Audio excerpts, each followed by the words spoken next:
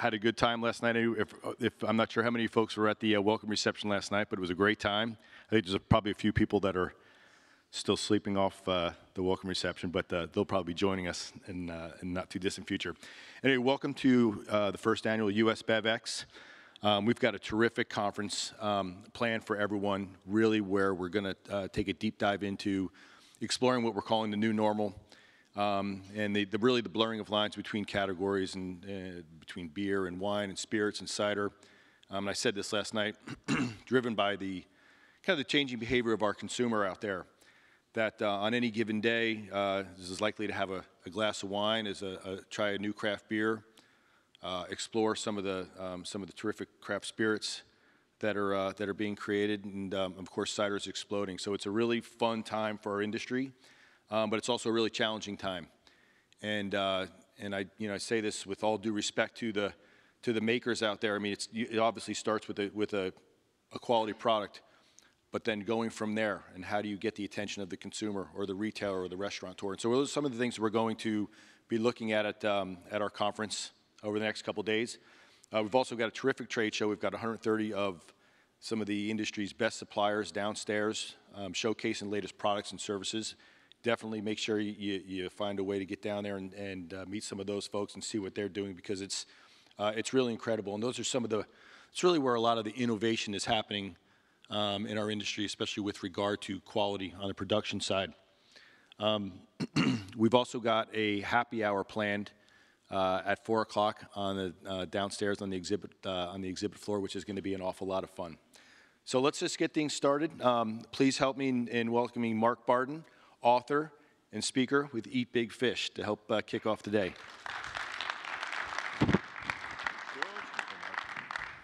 Good morning. Great, you are awake. Fantastic. Thank you for showing up. That's a good, uh, good start here. Um, what George neglected to mention, it's up on the screen today, and I'd encourage you all to uh, take advantage of this. This is the first and we should be making sure that we tweet out as much as we can uh, all the great stuff that you're hearing about here, to share this with the industry, share this with uh, people who maybe haven't made it today. So I first um, met George about a year ago, I think it was now, when he was first uh, conceiving of this notion. We sat down, had a, a, great lunch in Larkspur, which is where I live. Don't be fooled by the accent. I'm a Californian at heart. And George and I were talking about this idea of the new normal. What, what exactly does that mean? And we're going to spend the whole morning session today with three different takes on what the normal is, new normal is, and how it's impacting you and your business. So George, um, I think, you know, had, had this notion, which I, I hadn't thought of before sitting down talking to him about just how much of a blending between the categories that, they are, that exist today. How often beers are acting more like wines today in the way they talk about the content of their package. And how some of the craft spirits look more like beers in some sense with their very kind of macho appeal. And we're going to look at a number of these different instances this morning and talk about what it means. And the opportunity for all of you here, if you're from the beer side, from the spirit side, from the cider side, is to learn from each other. So in addition to content you're going to be exposed to this morning from the stage here, in the dialogues that you have on the trade show floor, at lunch, over happy hour this evening, be having this magpie mentality towards the people you're speaking. You're looking for bright, shiny objects, insights, ideas you can steal and take back to whatever part of the industry you work in and apply to your own business. Because that is the definition of the new normal, this blending of categories driven by the demands of this millennial generation who think, act, feel, behave differently, very differently than previous generations, and the customers uh, the customer, Legal Sea Foods, we're going to hear from this morning. Whole Foods, we're going to hear from this morning, talking about how they see the new normal showing up in their stores and what it is that they want from brands and what it is they're seeing working. So, three uh, segments to this morning's session. First, we're going to hear from Nielsen. Nielsen is going to show in numbers what the new normal looks like. A rapid fire, 15 minute burst of wow statistics that are just going to put us in the right frame of mind to go, my goodness, the change here is significant. Then you're going to hear from this guy called Mark Barden, who looks and sounds a lot like me. He's going to be talking to you about challenger brands. How do we need to behave as brands and marketers in the new normal in order to make sure that we get our fair share of all the growth that is out there for us. What are the threats and the opportunities? And then lastly, closing out the session with a conversation here, informal conversation in which we'll ask you to participate with questions and answers uh, with um, Doug Bell from Whole Foods and Sandy from Legal Sea Foods, giving us the customer perspective on the new normal. Okay? So, first uh, up is uh, Jon Collins, who's also a Brit, the president of Nielsen, and Danelle Kosmal, of, who's the VP of Nielsen, who are going to be giving us their sense of what does the new normal look like in terms of metrics. So please give a, a nice warm welcome to Jon and Danelle.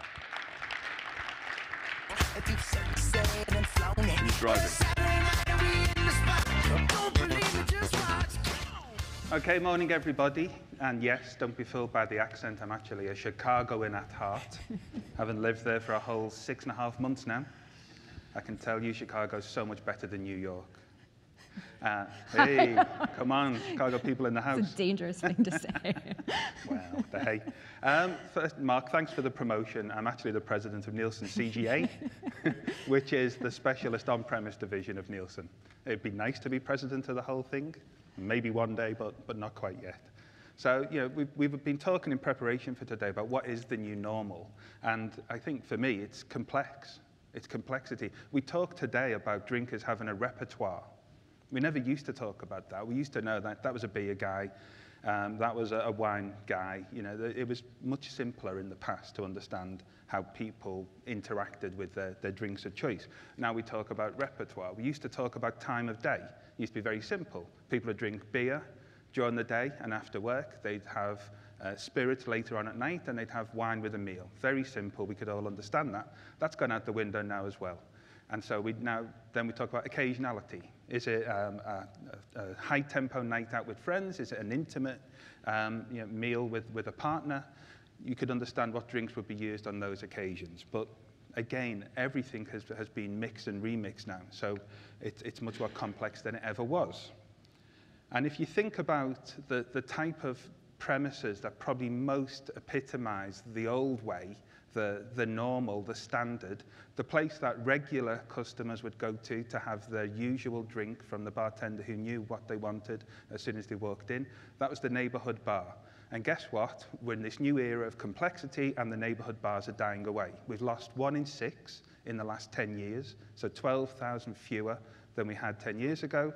And it's not just a US phenomenon. The Great British Pub, the community pub, is closing at a similar rate. The brasserie in France is closing at a similar rate. Pretty much any market we go into and measure what's going on with on-premise, we see this same thing happening.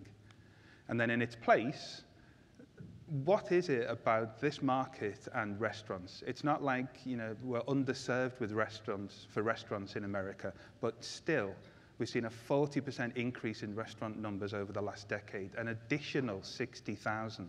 That's not the total number.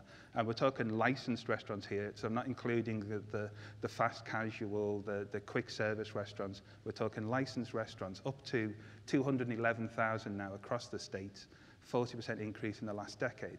What does that mean for brand owners? You know, the, the brands that would play well in the blue collar neighborhood bar, they're under pressure, they're seeing their customer base shrink the brands that can play well in this new, you know, less defined space, which typically has food at its hub. You, know, you need to make an argument to the restaurateur, and by the way, 85% of them are independently owned, so it's not like you can just build your brands off the back of chains in this marketplace. It's almost, you know, venue by venue. Uh, we call it brand-to-brand combat as you try and explain to the restaurateur why he should be choosing your brand on the back bar, on the tap, uh, on the wine list as opposed to the dozens of alternatives that are available to him. And another thing about the new normal we would say is that somebody said last night, choice is a great thing. Choice liberalizes people. Choice gives you more options. That's wonderful. But um, there's a, a famous um, a sociologist called Schwartz who said, just because choice is good doesn't mean more choice is better. And actually, there can be such a thing as the tyranny of choice too much choice, paralysis through options. There's a famous case study of a guy who was found practically weeping in the aisle of a supermarket in front of 57 different types of uh, soap powder. So, what am I supposed to do? Brain shuts down. We have the same issue here. You know, Britain um, is a similarly developed, mature on-premise marketplace, and yet it has only about half the brands available on the back bar that you'll see in a bar in America. So 57 different products. That's not 57 different bottles, or facings of bottles, 57 distinct brands available on that bar. When you've got that forest of choice in front of people, how are they supposed to make an informed decision? Often they can't. What will they do? They'll either default to a mega brand because they know it and they're familiar with it, or, and I'll come on to this in a moment, they'll look for guidance, but can that person who's there actually provide the guidance? So 57 products on the back bar, 11 of them typically flavored vodkas. So you know, the new norm is to just have, in my opinion, a crazy overstocking on the average bar, which means for brand owners, what's the value of a point of distribution? Building a brand in on-premise used to mean go out there, secure distribution, customers will engage with the product, and you can build your brand from there. But if actually you have got um, so much competition on that back bar, you might have a point of distribution, but it's almost worthless to you because the customer can't even see your product in the forest of, of bottles that's on the back bar there. And that was my favorite of the, the flavored vodkas. This was the Alaska Distillery smoked salmon flavored vodka. You know, obviously we all like to kickstart our nights out with a, a shot of that. Um, but yeah, there, are, there are the same number of citrus vodkas on the back bar as there are gins in total. There's a, there is a, something we, we're seeing now called flavor fatigue, which you might have, have heard coming through the ether. And we're seeing people just start to, you know, just uh, both customers and, and bar staff and wait staff just sort of roll their eyes when they see yet another marshmallow vodka, pineapple vodka, citrus in particular, just spreading out, spreading out onto the bar. And actually, we see they don't justify their space on the bar based on their sales. So volume year on year of flavored vodkas is down in the on-premise, but the number of flavored vodkas on the market is up 6%. So you've got more and more brands competing for a, a sub-segment that is actually um, overserved. And you know, don't just take my word for it. The uh, brand director at Diageo made the point recently that they got lazy and having a 40-second flavor of vodka just to extend the range, try and colonize more space on the bar or the shelf in the supermarket, wasn't really the way to, to build an engaging strategy, a sustainable strategy going forward. And similarly, recently, the CEO of Brown Forman has made that point as well about they don't want to play in that space. So you've got all of this confusion. You've got all of these brands. You've got a consumer that then is saying, well, help me out. 85% of customers, every time we do this research in any market, always comes back to pretty much this number, will take the advice of the person behind the bar or who's waiting the table when it comes to what they should choose to drink. That's a massive opportunity for you to have an army of advocates who are promoting your brand. But have they heard of it? Do they understand it? Uh, are they able to advocate? Or actually, are they as confused as the customer themselves because there's just so many brands to try and, and keep track of? That can be great for the customer. Myself and my colleague Scott there were in a, a bar in Chicago a, a, a couple of months back and we spotted Macallan 18-year-old on the back bar. Absolutely wonderful drink. We asked the, the, the, the uh, lady who was waiting our table, uh, how much for a, couple of uh, shots of Macallan? And she quoted us the price for just the, the regular whiskey in the venue. Was it about $8? That's a ridiculous price. So obviously we stayed there for three or four hours and really got our money's worth. But yeah, that, that, that's great for us. Doesn't do the operator any favors, doesn't do the, uh, doesn't do the brand many favors either. Um, and you, you see similar stories with people not understanding what beers are on tap, um, what's on rotation, misdescribing beers. So I believe there's an intensive effort required to, to get into the venue and educate people. 0.6% growth in craft beer. Now, listening to everybody talk last night, you might have thought that uh, it was going to be much higher than that. It isn't. Yes, there's been a meteoric rise. It's tapered off. Right now, craft represents two-thirds of the taps on the average bar, 11 taps on the bar. Only one third of the volume. I say only, that's come from nowhere to be one third of the volume, but does it merit that many taps? And does the retailer understand that they could improve their throughput if they were to rejig the formation? Spirits, every category pretty much that we track is in growth year on year uh, as spirits take share away from beer. Um, 75% of that growth is coming from rum and tequila, so that's $750 million of additional value last year coming from those two categories alone, as we all took into Dark and Stormies and Bloody Marias.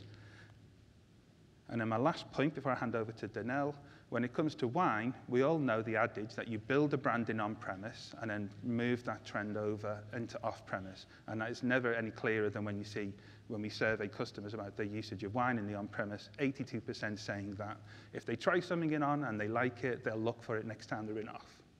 So hopefully you've heard something in on and you liked it, and I'll hand over to off. Okay, thanks. Okay, so we've been talking about the new normal. How did we get here? And what's been happening over the past 10 to 15 years in arriving at the new normal? And the first number that I'll start with is 12%. So 12% share of alcohol drinks, that represents what wine and spirits have gained from beer since 2002. So am I saying beer is no longer relevant? Of course, that's not it at all. Um, wine and spirits, however, are more, becoming more relevant. They have become more relevant. And a lot of these dynamics are happening because there's so much more interaction with all three categories. So what's an example of one of those interactions? The first is 35% of wine drinkers also purchase craft beer, and that's up from 26% in, from 2012. And I think what's also interesting is that um, when we think about drinking occasions in particular and their role in that interaction. So if you think about traditional wine drinking occasions and something like food pairing, now food pairing is also a craft beer drinking occasion. And when you think about something like a really traditional beer drinking occasion, and Super Bowl is probably the most traditional and iconic beer drinking occasion that we can think of, it's also becoming more of a wine drinking occasion too. Um, so what's the new normal with millennials? Well, 40% of millennials say that they're drinking all three categories, beer, wine, and spirits. And um, I think something that was really interesting in all of this too is if you look at millennials that are drinking just one category, only 4% of millennials say that they're drinking wine only. So we all know that wine drinkers are no longer just wine drinkers, but even more so among millennials. 10,292. These are the number, this is the number of new beer, wine, and spirits items that Nielsen tracked over the past two years. So um, a, a lot, and Jon spoke to everything that the consumer and the shopper is trying to navigate within the store and when they're in bars and restaurants. But within the store, it's happening too. A lot to navigate, and what's driving a lot of this innovation. Well, first, if we look at, there are some things that are happening in terms of innovation that no one can really categorize yet. And hard sodas and hard root beer is probably one of the best examples from 2015. So is it a craft beer? Is it a flavored malt beverage? It might be a little bit of both, depending on the brand, depending on the price point, depending on the flavor. Mm -hmm. And so I think one of the big questions coming up is, is this going to continue to be the new normal, something like hard root beer or hard soda, or is it the new normal for this year, for 2016, for 2015, and then we'll move on to a different new normal in 2017? Another kind of common theme across beer, wine, and spirits in terms of innovation is above premium and high end. So high end is definitely getting more than its fair share of that 2,000 plus, of those 2,000 plus items. So um, we see that within spirits, a lot is coming from high-end whiskey. Within craft, or within beer, it's a lot of the craft and the local brands. Um, and within wine, it's a lot of the higher-end red blends and even a lot more of the dark red blends too. So speaking of high-end, $10.7 billion. That's the amount that high-end beer, wine, and spirits have gained in the past four years so pretty substantial. We know, we know that consumers are trading up. We know that premiumization is happening. Before we talk too much about premiumization, I kind of want to step back to a little bit what Jon was talking about in terms of mainstream brands are still important. If we think about the mid and budget tier across all of these categories, they still represent about half of the volume of alcoholic beverages. So there's still a big role that all of those brands within that space play. That said, the high end is still driving a lot of the growth.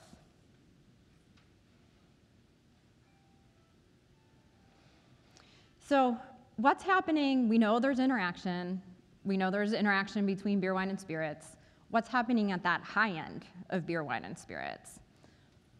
There's even more interaction at that high end. So 50% of high-end spirit drinkers are also purchasing craft, and that's up from 40% from just two years ago. So um, this is something that I think we'll also continue to see. We'll continue to see increased interaction among those high-end drinkers, especially with the high-end spirits and craft beers. 550%. This is the growth rate of grapefruit beer from 2015.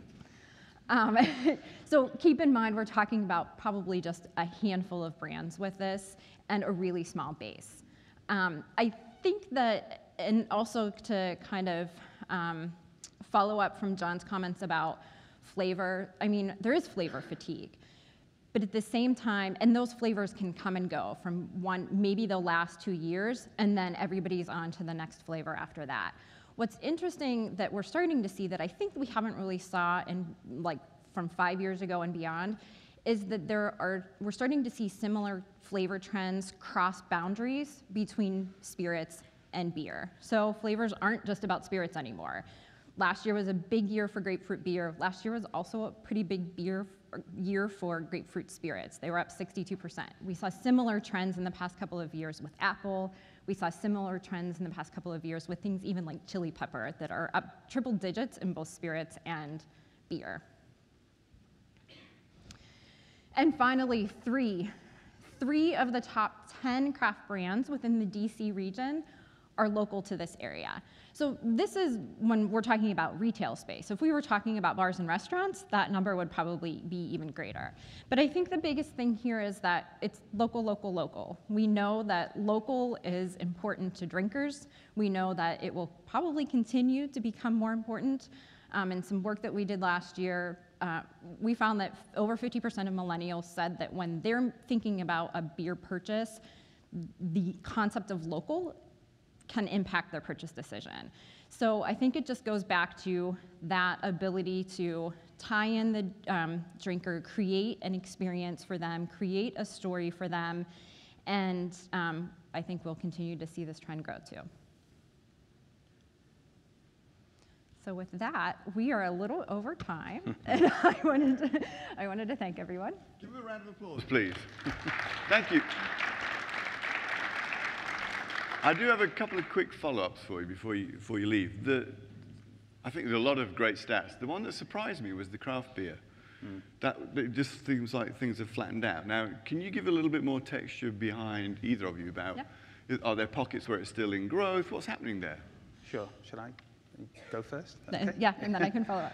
And, and, we deliberately thought, you know, it's not often I'll look at a slide and I'll go, what I need is 0.6%. That's what I need to tell people. That's the big number. um, because it is, you know, it goes against sort of perceived wisdom. Craft's huge, craft's growing, craft's everywhere. Actually, you look volume year on year, it is plateauing.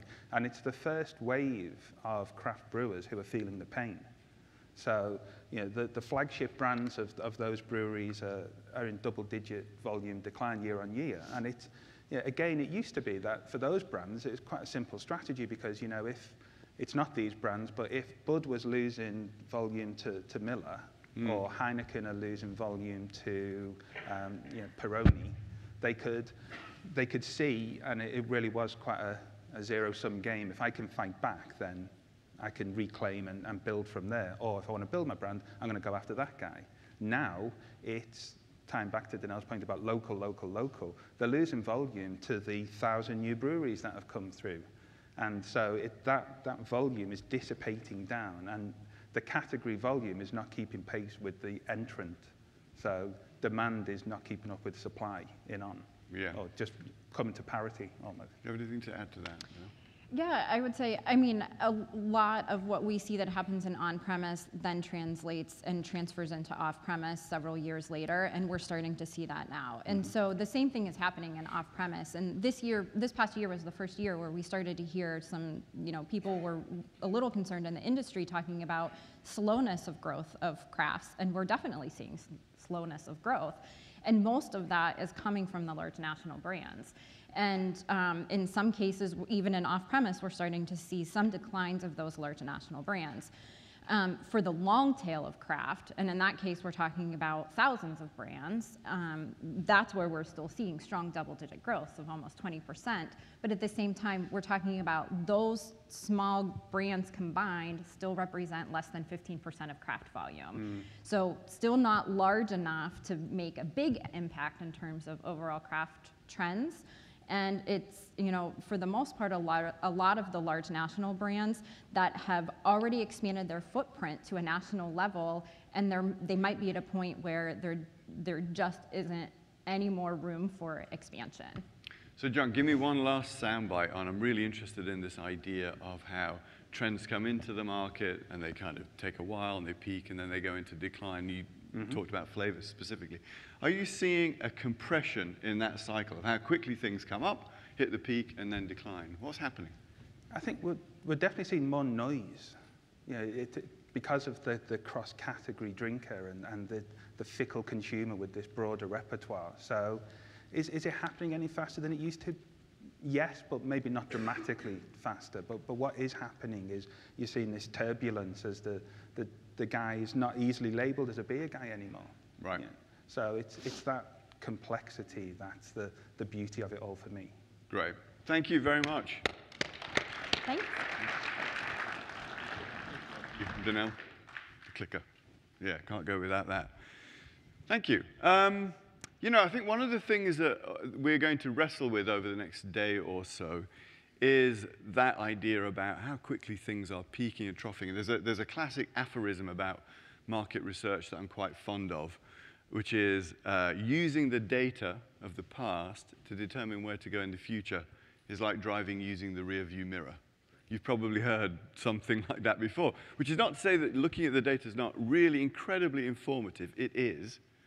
But where it's going to go is the job of the entrepreneur, taking an educated guess about what's on the margin, being the first to spot it and go there first is, I think, just something for us to think about as we go through uh, the rest of the session here. So I'm going to talk to you about challenger brands um, and what it feels like to be that little sumo wrestler on the left of the screen there. I suspect that many of you identify more with that little guy than with that big guy. And that big guy isn't just the major national brands that uh, Jon and Danelle referenced. It could be a mega trend that's working against you. You might be in the flavored vodkas business and you're seeing that thing get a little bit of pressure. There could be any number of versions of that. But I'm going to talk to you about being a challenger brand and some of the strategies that you can use to win in the new normal, to win in these times of turbulence, of constant change. If we learned one thing from the last presentation about what the new normal definition really is, it's this notion of constant change. Things are going to be in flux for years to come. So I uh, am a partner at a consulting firm called Eat Big Fish, and we are specialists in helping challengers eat their big fish, attack the central challenge that faces them and their business, and figure out how to win despite probably being under-resourced versus the big fish. We're going to talk about that today, some, some um, of the strategies you can use.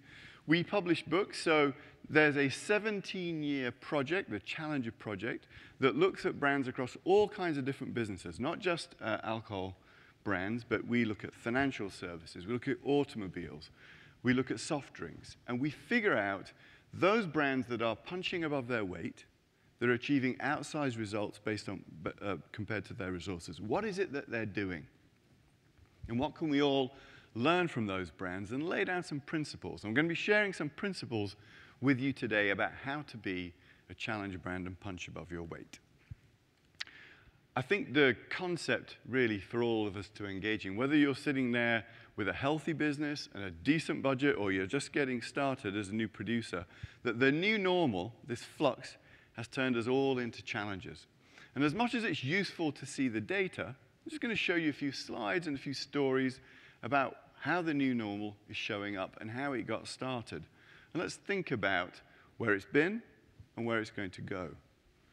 So, this big bang of trends, it's millennials coming in with very different understanding and appreciation of where they want to drink and what they want to drink and when and how. It's customers making demands of stop people when they're in my aisle, give them something new to look at. That's going to create the till ring that we need.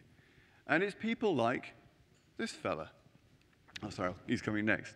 If you're thinking about wine, and that's the image that comes to mind today, that's the old fashioned code of the wine business. This is the codes of Napa Valley. It's beautiful wine, it's Cabernet grapes hanging off the vine. And that's what we maybe all have thought about what wine represents a few years ago. But then we get people coming along like Vaynerchuk, started this 20 years ago.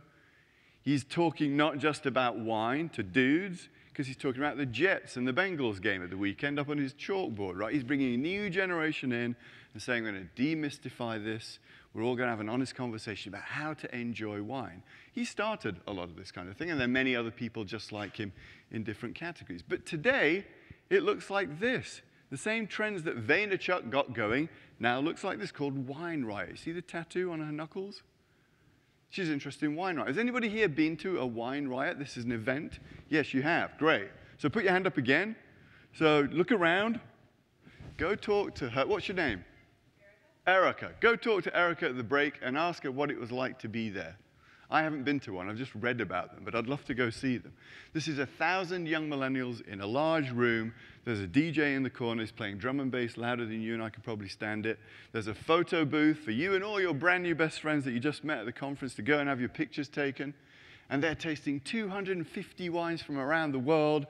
And the invitation is clearly, are you ready to riot? So this notion that we have about sitting in our Adirondack chairs, sipping fine cabs, it's gone for this generation. This is how they want to experience wine. This is what they want to do with their lives. And it's rebellious. And here's the original re- rebellion. Who's, who's this? Iggy Pop. There's only one Iggy Pop. The point of this slide is not to point to Iggy so much as the banner to his left, the Sailor Jerry Rum brand. Started by Steve Grass, a decade or so ago now, Steve Grass explicitly set out to design a rum to act like a bourbon. Right? So his point was rum's all kind of behave the same way. It's driven by the codes of that category, which is Jolly Pirate, cartoons of pirates. I'm going to act more like Jack than Jack. And I'm going to put this brand on the road with every hard metal, heavy, heavy metal band, every punk rock band I could get my hands on, and to seed the brand with that community. And that's the way this is going to grow. And he didn't spend a nickel on TV advertising and grew that brand to be bigger than Captain Morgan by acting like a bourbon. Is rums and bourbons coming together, acting very differently. This is, Steve Grass's other brand, uh, Hendrick's. I'm not even sure which codes Hendrick's is borrowing from. It's kind of a little bit steampunk, a little bit classic English, but he's created something wholly new that acts in a different way than any other brand in that category before. And he puts it in a, a black bottle that he found in an apothecary store. And he said, he told us when we interviewed him for this, every time I did focus groups with that bottle, people hated it. Why do I bring out a brand that people are going to hate? Because I'm trying to signal difference. I'm trying to stop them at the shelf and pay attention. Absolut's doing it too. So Absolut Tune is a New Zealand uh, Sauvignon Blanc blended with vodka in a champagne bottle in this kind of sleeve. And it's a special order. It's only available in certain nightclubs, but it signals the new normal in one brand, this collision of different cues and references brought together to blend into new, entirely new things. this is a brand called The End of History. Uh, it comes from Brewdog. I'm going to be talking more about them in a moment, so I won't dwell on it too much today. But to suffice it to say, at the time the end of history was brewed, it was the strongest beer in the world. It's 55% ABV. It's sold and enjoyed like a scotch. It's $800 a bottle. They sell lots and lots of beers, but they bring out these periodically, these beers to really challenge people's understanding of what they think a beer is. I'll explain the taxidermy later. Um, here's one I found from CircleUp. So CircleUp are here today uh, at the conference. They're running a workshop today. Uh, this is a, a, um, a crowdfunding platform, and this is the world's first vodka soda, according to them. Jane hasn't come out yet, but it's a really interesting idea of blending the codes of soda and vodka. Here's another one that I really loved. It's pronounced mocha. Mocha is cola and red wine, which sounds gross to me, and yet the kids, the young adults of Spain, enjoy their red wine this way. So somebody's had the great idea to bring this. You, yeah, you know, you, you know this? Have you had some? Yeah, not only in Spain. Not only in Spain. Where, where do they, do they enjoy that here? No, um, I'm, I'm from Europe, but um, in Europe it's very common for young kids to start drinking wine mixing it with Coke. Great. So, young kids in Europe, very common to have them drink Coke and uh, red wine together. So, if we want to think about where this market's going, where will it be in five years when Jon's and Danelle are back on stage here five years from now presenting the latest round of stats? Maybe we'll all be talking about uh, Coke and red wine, and maybe an entrepreneur in the room is thinking, that's a big idea. I'm going to do a version of that. But that's what the new normal looks like. And uh, the point I want to make, and I think John and Danelle made this point really well too, about this doesn't mean the end of big brands. This doesn't mean the end of these massive, the Bud Lights, the Miller Lites of the world. Miller Lite created a 6% lift for itself by saying, great, you know what, this new normal, this explosion of choice, all this wacky, crazy stuff that's happening, while they're all zagging over there, we're going to zig over here, and we're going to get back to our heritage can the white can that Miller Lite have been struggling to defend their volume from all these different uh, explosion of choice. One way they did that was to say, we're not playing this game, we're going back to heritage and roots. So for all the trends going in that direction, there's almost always a counter trend going in this direction too. And one of the opportunities for all of you to think about which one of these games am I going to play? And if you've got more than one uh, brand in your portfolio, playing different games with different brands, so you're hedging against the possibilities of change and what it might do to your business. So that's what the boom, big bang of the new normal looks like, just a little bit of flavor of that. I'm sure you've got your own versions, and I'd love to hear some at the breaks. If you want to come and tell me a story like uh, Mocha, I'd be all for it. Um, the point I want to land with you, if you're a brand owner or you're a retailer dealing with this, is that the noise coming at young millennials looks like this vibrant wall of orange. 10,000 plus new items introduced in the last two years alone, Nielsen said. It's a wall of sound, a wall of noise, and your brand is on there. Can you see it? There's a little one pixel black dot. That's you. If you're launching a new brand, I don't care if you're Bud Light, frankly, these days, that's you. You have to compete for the attention of the millennial. So we live in a world of almost unlimited abundance and choice. The one thing that is and will always remain unlimited is the attention of the consumer. What I want to switch gears and talk to you about now is how challenger brands behave in order to grab the attention, get people by the scruff of the neck and say, pay attention to me. I've got something interesting in amongst this sea of 10,000 new launches. Some of you may be sitting there going, ooh, this all sounds really hard and I'm not sure I'm up for it. And that's fine. What defines a challenger brand is not being small. What defines a challenger brand is not even being number two and huge versus number one. What defines a challenger is having A, big ambitions that significantly exceed are your resources. It's a little piece of math, the only math I have in this presentation. When A, your ambition, significantly exceeds resources, and you are prepared to accept the implications of that gap, that's what makes you a challenger. Ambitions bigger than your resources, a willingness to break the rules. What are the things that you need to do if your ambitions are bigger than your resources? This is what we apply ourselves to in our work at Eat Big Fish, understanding how challenger brands win. There are five things you're going to need to do. There's probably more than that. I only have time for five. First one is you're going to need a fresh insight. You're going to need an insight nobody else has yet had about the category and how it works. You're going to then need to become famous for that insight. You're going to bake it into your product, your brand, your experience, your bar, and you're going to need to become famous for it. I'm going to tell you how challengers do that. You're going to need to have absolute conviction. So, in this sea of change and this swirl of the new normal, you need to be very clear about where you stand and what you stand for so that you have a center, you have a true north in the middle of this maelstrom. You're going to need to have creativity and invention every single touch point, every single aspect of your business. And you're going to have to find more resources, more resources than you have. But somebody out there has got those resources. You just have to figure out how to get it. Uh, I'm going to, sorry, sorry, pause. Can we just go back to that? Just let me set up this film. Sorry, my fault. I want to show you, it's a two to three minute film here of challenger brands from all across the world. There are some different um, alcohol challenges in here. Brewdog is in here. Look out for that. Steve Grass is in here. Uh, if you're really paying attention at the end, I'll ask you to shout out how many of these brands you spotted. So this is just, there's about 10 challenger brands in here, each one giving an insight about what it means to succeed in the new normal, because every category has its own version of it. Roll the film, please. Thank you. We definitely thought of ourselves as a challenger brand, as uh, sort of outsiders that were taking a fresh look at an industry that we felt needed massive change.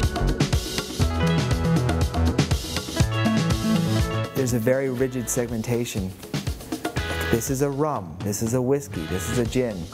And uh, I found it very easy to go in and just mess with that because no one had. No one thought, you know, anyone in the world would go and stay with, you know, someone in their home. That it was such a, you know, a scary idea. Uh, and we proved that actually it's not a scary idea. It's something that people want to be doing. You know, there's a lot of old truths and myths out there that luxury brands need to represent old times and old days, and we think the exact opposite. We think it's very important to be of the times. There's been a lot of different kind of hotel uh, experiences, a lot of different designs, but always based on the five star. And we never understood why certain things had to be that way. Our biggest mission when we set up our company, and it's still our biggest mission today, is just to make other people as passionate about great craft beer as we are. It's a company that is really about the relentless pursuit of the truth. Our entire sort of mission around this is to tell a truthful and unbiased account of the things that matter in the world today. We're going to go and try and get 400 people their jobs back. That's why we want to go and start yeah, a great global denim company. I looked at oral care. I saw oral scare. Everything was driven by fear and shame. In a more enlightened age and day, you don't have to talk that way to get people to get excited about your product. You have to actively focus on culture and uh, specifically roll out your core values as soon as possible, ideally day one. Start small and make it good. It made so much sense to me and it completely changed how I was thinking about uh, what I wanted to do. Really, we never lost the sort of, you know, we're, we're the small guy challenger mentality and, and you know, part of my job is to make sure we never do.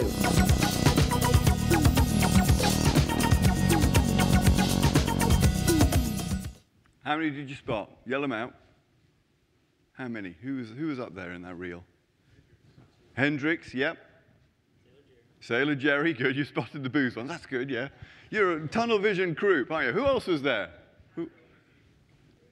Brewdog, Audi, Airbnb, great. Hello, Warby Parker. Did you spot Warby Parker? Yeah, tons of different challenger brands, tons of different industries. And they're all completely different in many ways, but they're following some very similar practices and principles. And it's that I want to give you uh, some insight into. What is it you can do to act like a challenger brand? Challenger strategy. So the first thing you're seeing here is embracing intelligent naivety. Many challenger brands are created, industries are disrupted by people with no experience in that category. So one of the things you need to be very careful about in, this, in these sessions, in this conference, is learning from those with tons of experience. Brilliant, you can get all kinds of new insights. But at the same time, trying to adopt some naivety and say, yeah, but what is it that these experienced people are so encumbered by that they're not spotting the obvious thing? which is that people want to stay in other people's homes, not hotel chains. That all hotels are modeled on the five star model, and we're Citizen M, we didn't mention that one, but there's Citizen M hotel chain. It's challenging the way we think about hotels completely by embracing intelligent naivety. I'm going to give you some stories about what this looks like in a moment. That's the first one. How do you make fame happen? you create dramatic symbols of thought leadership. So in any category, there are two kinds of leadership. There's market leadership. We're the big one. Everybody knows us. We're in every bar in America. There's the thought leader. We're the one with all the new ideas, the one that's bringing you new conversations to start with your friends. Have you seen this one? Have you seen this brewdog? It comes in a squirrel. I don't know why either, but it comes in a squirrel. We're talking about it. You need to be absolutely belief driven. So uh, you're going to hear from Brewdog in a minute about what their convictions were when they were starting and why they're doing uh, brands like um, the end of history. Creative in intervention. One of the things that happens to a lot of challenge brands is they get stuck with a can't because mentality. Well, we could do that, but we really can't because we don't have the money, or we don't have the know-how, or we don't have the distribution, or we don't have the ear of the customer. The successful brands, the ones that are really punching above their weight, adopt a can-if mentality. Well, we can if we partner in new ways. We think of it differently. I'll show you some examples of that in a moment. And resources is this idea of creating abundance. There are all kinds of partners and people out there from which you can go and get what you need, so long as you know how to frame it in the right way to them. Illustrations coming. This, first of all, is to get you to really pay attention to Brewdog because that's their sales curve. You can see phenomenal. Who's heard of Brewdog? Just quick show of hands. Yeah, some of you have. Good. So some of you have heard of this. You'll know this story really well. In many ways, it's not the freshest story. There'd be more interesting things, I think, done in America. So this is not look at those Scottish guys and learn from them. This market's done its own version of this. I brought it because I thought, A, some of you won't have heard of it. B, we've actually got film of James Watt talking. So uh, I'm going to introduce you to him right? Our biggest mission when we set up our company, and it's still our biggest mission today, is just to make other people as passionate about great craft beer as we are and show people there is a alternative to the mainstream industrial monolithic insipid bland tasteless apathetic beers that dominate the market they spend so much money in advertising, marketing, trying to convince people that's what good beer is, and sadly, so many people have fallen down this rabbit hole. We set up with no money, with no budget, and we've had to be quite inventive as to how we get our name out there. In the last five years, we've made the strongest beer on the planet. We've packaged beer in roadkill and taxidermy. We've fermented a beer at the bottom of the sea. We've made a special beer with banned substances for the Olympics, but they've all been done because it gives us a platform to get our ideas across about beer. So we made a 18.2% beer called Tokyo. There was a huge media backlash. I was in Channel 4 News. I was interviewed by loads of major newspapers. And the people that saw that coverage, maybe it just gets them starting to think, well, beer doesn't have to start with Heineken and end with Stella. There is maybe a different approach to beer and get them into good beer that way. So, absolutely no disrespect to Heineken and Stella. That's James Watt's point of view, not mine. I like a nice Pilsner, and I've got a Heineken story coming up in a minute. But there's a lot that we can learn, I think, from Brewdog. Let's just map what they've done to our principles about how challengers succeed. So the reason he's creating End of History and putting it into uh, taxidermy, apparently it's a stoat, not a squirrel, for those of you who know your animals, um, which was roadkill, was already dead is he wants to get people talking about his larger mission here, which is a mission that's not that novel in the US, but he, in the UK, talking about American style craft beers, is novel. Taking on the big Goliaths in that industry is what he wants to do, and that's going to drive free publicity for him, and that's what he's really hungry for. My partner, Adam Morgan, who wrote the book, Eating the Big Fish, said the greatest risk to a challenger is not rejection, it's indifference. We all wonder if this is going to be too much, if this story is really going to get us into trouble. And that's probably exactly where you need to be. You need to be sitting in a place of uh, uncomfort, uncomfort rather than risk your idea being met with the indifference of the public. So here's um, another thing about Brewdog that they did so incredibly well. You may have noticed the time frame. Launched in 2007. What happened in 2007? World's largest financial crisis ever, at least since the 30s. They are growing. They've got fans. They can't expand the business by borrowing money from the banks. The banks aren't interested in them. What do they do? They adopt some can-if thinking. We can if we borrow money from our loyal fan base. There's lots of people out there who lend us a fiver, 100 bucks a piece. They're now on round four of what they call Equity for Punks, where they borrow entirely from their own fan base. It's a crowdfunding model. They just raised 25 million pounds. They're coming to the US. They're expanding in Europe. This is how they're going to go global domination. And they've gone and created abundance. We'd like to be much more famous than we are, so we can only do so much with the interesting novel uh, beers that we make. But we're two characters with points of view. We're quite good on camera. We'll go to Esquire magazine and we'll get them to, there's Esquire TV channel uh, in the UK and over here in the US, and we'll ask them to make a show about us on the road in America, going to weird places, making weird beer out of weird things. It's making them famous. So all they've got to do is show up and offer the talent, that's what they've got to offer, to Esquire magazine, who've got the ability to produce the show and put it on air. Brilliant way of creating abundance, making something out of nothing, adopting can-if thinking. So that's what they do. They apply their intelligent naivety to say, what has happened to beer today? There's got to be a different way to think about beer. That's the kind of intelligent naivety that drove their business to begin with. They launched Tactical Nuclear Penguin, never mind the anabolics. Everybody's talking about them. They are now famous. But they're doing it because they've got a platform about promoting better beers, interesting beers, getting people engaged with beer. They fund their growth through Equity for Punks. That's how they use creativity along the journey. And they go partner with Esquire TV to make sure that they're becoming more and more famous every day. These are the strategies of the Challenger brand. It's all found in Brewdog. I'll give you some other for instances of this. Let's think outside of our category. Anybody here Dollar Shave Club fan? One hand, a couple of hands going up. Dollar Shave Club came from Mike Dubin. This is the founder.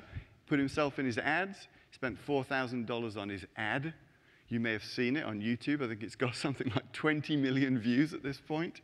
His business is now worth $600 million. And his insight came from a cocktail party conversation with a pal where they're saying, it's stupid, isn't it? What's happening to razors? They're about to bring out one that's got five in it. It's called, you have to be an astrophysicist to design these things now.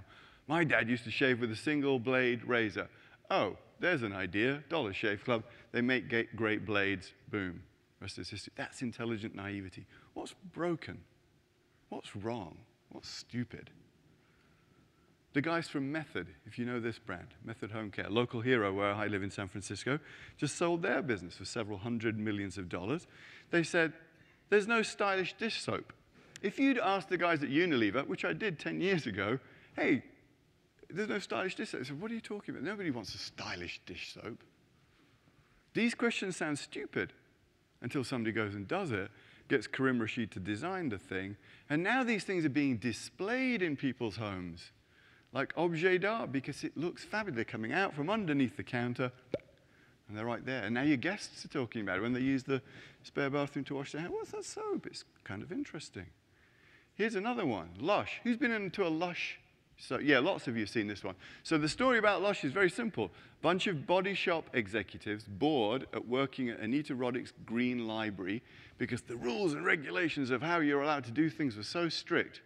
They said, no, we're not going to do it like that anymore. We want to do it in a completely different way. Who's on fire right now? And they're looking at the likes of Whole Foods. And they're saying, you're going to Whole Foods and it's an invasion of all your senses. It looks great. It smells great. You can pick it up. It's beautiful. Let's make soap Let's merchandise soap in the same way that Body Shop merchandises fruits and vegetables, gives rise to Lush. And you can carve off big blocks of soap from a huge thing that's displayed like cheese. New and novel ideas. So where does intelligent naivety come from for you guys if you've been in this category for a, for a while? It comes from borrowing ideas that are on fire over there and applying to them to your category. If we overlaid the rules of makeup onto vodka, what would happen? Let's do that exercise. That's how you create a new idea. What new emotion have we not seen in this category before? You've seen James Watt putting ridiculous emotions into his brands, but there's a ton to choose from. We can do that. What if we took the conventions of the category? What does the new normal made beer look like? What if we flipped that on its head? That's going to create something new. That's going to be, create the future. As a challenger brand, you have to ask, how do we get to the future first? You have to ask not how do we fight our pal Goliath, but how do we introduce a new criteria of choice into the category and redefine the rules of engagement. You want to race? That's how we win. Um, here's a great example from the big companies. So this is the latest initiative of Pernod Ricard. So this challenger brand stuff is not a bunch of cool, hip, punky rock guys in Scotland doing it. This can be big company mantra too. Have you seen this brand? I think it's pretty new. It's called Our Vodka. And the idea is a common recipe globally around the world, common brand around the world, but brewed in locations from local ingredients. So it's a brilliant piece of engineering, I think, where they're going to get all the benefits of a global master brand, but all the benefits too of a local, it's our brand. So it's our Detroit, our London, our Berlin. This is from the guys at Pernod Ricard. Really interesting idea. Big data. I don't have time to make a presentation on that, but fortunately for you guys, there's some people here from Wild Fig who are going to talk to you about how you can get insight from big data. So it's not just about intelligent naivety, it's about cutting the data in different ways and looking for the trends that are just on the fringe and getting there first. So I encourage you to go see that. So we've talked about intelligent naivety, we've talked about dramatic thought leadership. I just want to touch on this idea of being uh, belief driven and its importance to the world because what we're seeing from these millennials is this idea. This is paraphrasing, honestly, a dozen research uh, presentations of the moment. It's no longer just about what we buy. I'd like a nice flavored vodka, a nice artisanal bourbon. It's what we're buying into. It's what are the values of those people. Who are they? Are they Texans? I'm in Texas. I want bourbons from Texans. Actually, I want bourbons from not just Texas, but from my location in Houston. I want to know who these guys are. Did they go to college like me? Are they into the environment like I am? There are all kinds of ways that you can present your brand to the world as asking people to buy into your own philosophy, your own value system.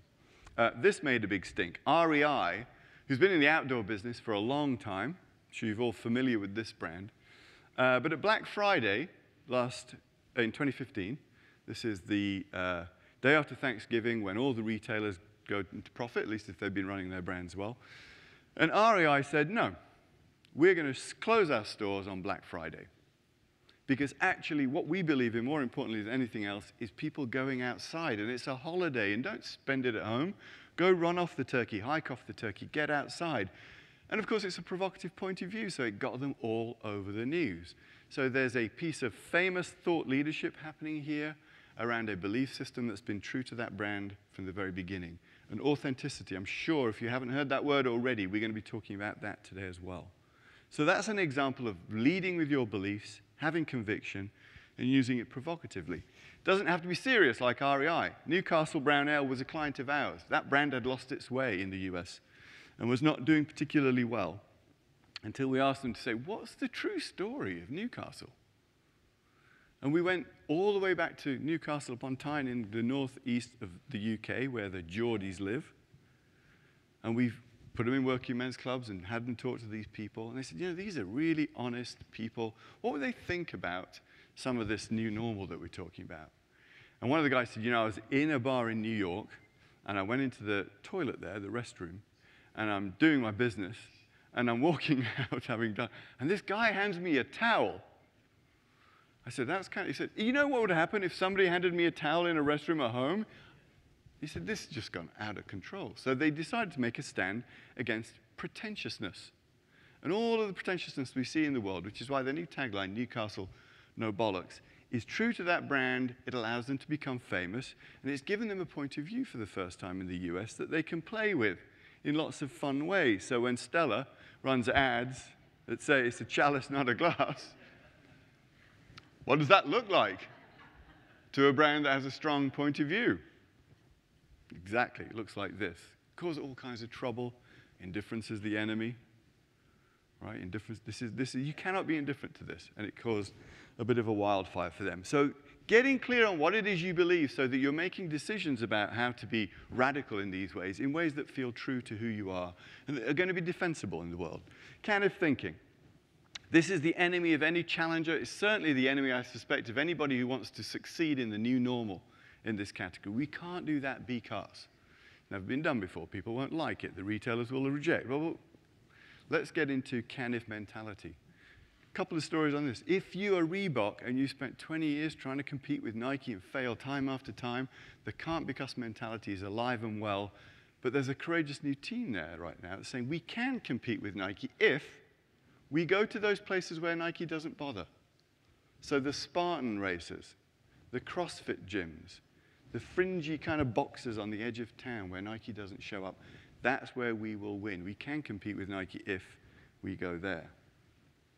Here's a great, this is a great story about Heineken in France. So Heineken in France was the number two brand to Kronenbourg 1664 for year after year after year. And the two brands were locked in a race the way that two big beer brands compete with each other, TV advertising. The French government, in their wonderful socialist wisdom, said, we're banning beer commercials on TV. Now, you could freak out. You could, we can't because we're kind of stuck now because we can't do. Or you could lean into the opportunity created by that challenge, by that constraint, as Heineken France did, and say, well, we can if we really commit to every single piece of secondary and tertiary packaging innovation that Heineken Center introduces. So they were the first to do those kegs, they were first into the aluminum bottles, and they've changed their fortunes. The French TV guide said, You're not allowed to use people in advertising. There's probably a way we can work around that, we said. We can if we make the bottle openers look like people. And they've become number one in uh, France as a consequence of all this innovation. So it's not just about little guys against big guys, it's big guys adopting a challenger mindset. Here's a nice story from a furniture startup. So this is a brand called Made. It's a little bit like Etsy, if you're familiar with that, but Etsy for furniture. They've got a business online, it's growing really well, and they're at the point in their history where they need to show up at the most prestigious furniture show in Milan except it's going to cost them a fortune in slotting fees to get in there. How do we do that? How can we show Milan when we can't afford the fees? The answer is you find your customers in Milan, you call them up, you say, Can we bring 30 journalists to your home and eight other people who are also uh, bought furniture from Made in Milan? Can we put a bus, bus tour together and take people around homes? Guess who got all the coverage for being the most innovative way to display? A brand that didn't display on the floor, only, but that used some can-if thinking to create abundance for itself. Right? So I'm sure they rewarded those customers very handsomely, but it was great for everybody concerned. And this is this can-if mentality. How can I create abundance? How can I get access to resources that I don't normally think I have? So part of the Newcastle Brown Ale project was, we want to go on the Super Bowl, they said. How nice, we said. Your marketing budget doesn't even buy you 10 seconds. All of it. How are you going to get on the Super Bowl? So they started a campaign that said, hey, little brands out there, who'd like to go on the Super Bowl with us? They pushed this in social media. They got their fans sharing it. They ended up with 37 brands um, I don't have the commercial to share you in the interest of time, but Google it. It's hysterical.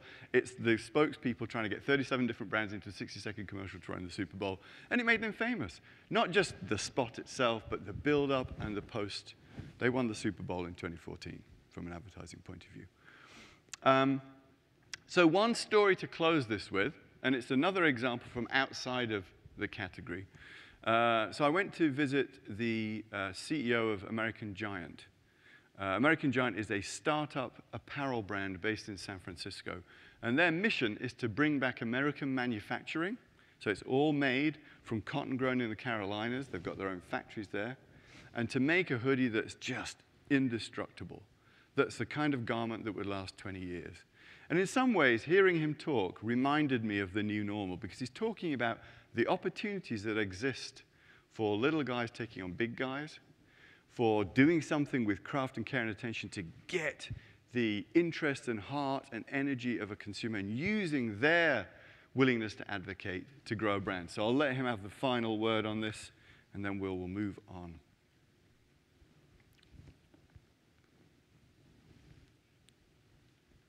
Like it or not, when you enter into a, a, category like apparel or sweatshirt, it's massive categories with the biggest bullies in the block kind of all around you. Um, uh, you sort of marinate in that idea of being a challenger brand, right? That whole idea about saying, you know, you you have to come in and uh, be nimble and be um, uh, almost punk rock in your point of view was was fundamental to starting the business. It's what it's what gave us confidence to start the business in a lot of ways, right? There's this one point, this rejection of the status quo in the big coupled with this sort of unbridled optimism and sense that I can go do that now. And that kind of um, change maker quality is incredibly exciting. And I think there's so much happening there, particularly in the Bay Area, where you have all of these people that really are, to your point, thinking, oh, I can do that. This little guy is connected to all of these things around quality and craft and transparency and all those things that are opening up um, great change in the market and great opportunity in the market. And um, I think when you can get that relationship building, it's just interesting. The brands, brands that do that well, uh, the pace of growth can be just staggering. So I'll let uh, Bayard Winthrop, which is a great name, by the way, isn't it, for a guy who runs a sweatshirt business, Bayard Winthrop close the comment. You know, 10, 20 years ago, when there not, wasn't a new normal, it was really difficult to change the dynamic in an industry and to launch a challenger brand that succeed. In the new normal, where there's so much openness and willingness on behalf of the customer, on behalf of the consumer, and with entrepreneurs in the world able to do this kind of thing, it's just a phenomenal time to be a challenger brand. And I know that many of you will find yourself in that situation, think of yourself. And I hope I've been able to provide you with a few ways to think about how to seize that opportunity with both hands this morning. I'm running a workshop at 11 o'clock. If anybody's interested in talking about this further, uh, we will do it then. I won't take any Q's and offer any A's at this point, because I'd like to get a couple of other characters uh, onto the stage with me. So we've seen the trends this morning uh, from our friends at Nielsen about how much change is coming and what it looks like. I presented you with some kind of ways to think about how to win in the new normal by being a challenger brand, by pursuing challenger brand strategies. I think it's time that we heard from the customer now. So I'm going to welcome on stage to me in a minute. Just let me introduce them, and then we'll give them a nice uh, big round of applause. These two guys are legends in the industry. I got a, a chance to spend some time with them uh, last night. We have Sandy Block, who's the VP of Beverages at Legal Sea Foods, representing the on-premise customer's point of view about how to win in the new normal. And Doug Bell from Whole Foods, who's the global beverage buyer. I'd like to introduce, warm welcome please to both those guys. They're going to introduce, uh, join me on stage now. Coming up, gents. We're going to make